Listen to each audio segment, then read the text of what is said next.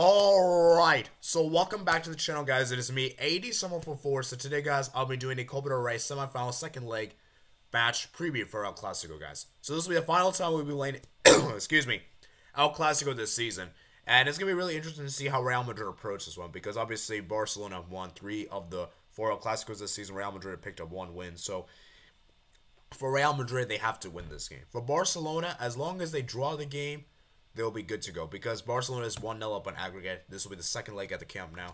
And let's look at the predicted 11. So, Ter Stegen will probably be starting goal. Left back will be Alejandro Balde, of course. Center will be Alonso Kounde. I don't think Christensen will recover in time for the game, unfortunately. Araujo will obviously be the right back to man Mark Vinicius, of course. Gavi, Busquets, Kessie will be the midfield. I don't think Pedri's will the young will recover in time. And obviously the front three being Ansu Fati, Lewandowski, and Rafinha. Rafinha will be back from suspension against uh, because he didn't play against Elche due to yellow card accumulation. As for Real Madrid, they're going to start with Vinicius, Benzema, Valverde, Toni Kroos, Tchouaméni, Modric. That's probably the expected midfield. Maybe you can see Ceballos maybe roll in there potentially because um, I did hear that Ancelotti doesn't really trust Tchouaméni, which is kind of shocking to me. But anyhow, uh, Vasquez will be the right back. I think Carvajal is out injured. Militao for Nacho Fernandez. I think um, Alaba, sorry, not Alaba. Rudiger is injured, I believe. Alaba will be the left back, and Courtois will be the goalkeeper.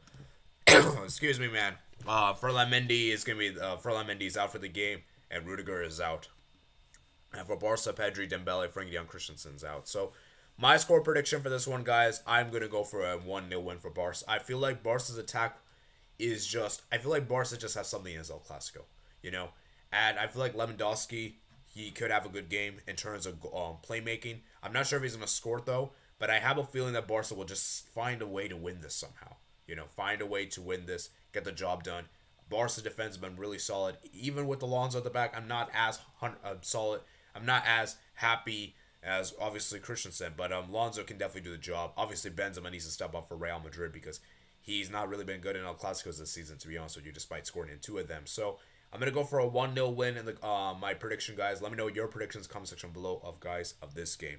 And yeah, I'll be doing a live match reaction tomorrow's game. So hope you guys did enjoy the video, guys. Make sure you guys like this video, enjoy, subscribe if you're new here, comment down below, thoughts, comment section below.